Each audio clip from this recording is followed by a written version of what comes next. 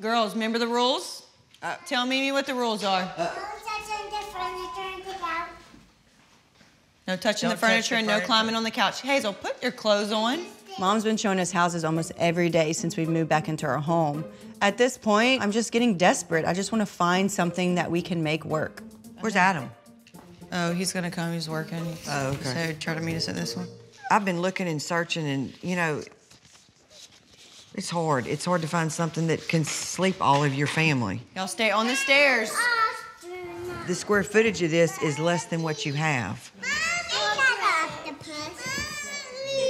So this has four bedrooms. Does it have an Yes. office?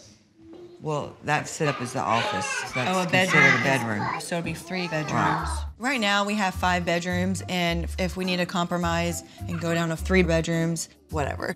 I mean, it's only six months, and I don't think we have the option to be picky right now. Remember, don't touch. Yeah, we don't touch. There's a shower in here. Mommy, like our shower. That's a big old shower I could throw all y'all in. This is fun. Like I, the master's gonna be a master's. Another shower, so there's no tub. Yeah, I know. I really wish we could find a house that has everything we need in it. But with every day that passes, I just know that the mold's just gonna build back up. So if it means we need to shower the kids for six months, so be it. Get out the toilet. No, ma'am. Clear. Yeah, that's blue. You know, hopefully the Quints will cooperate. Don't know. No, ma'am. Wait, we don't need to make sure somebody gets locked in there. Come on, come out the closet.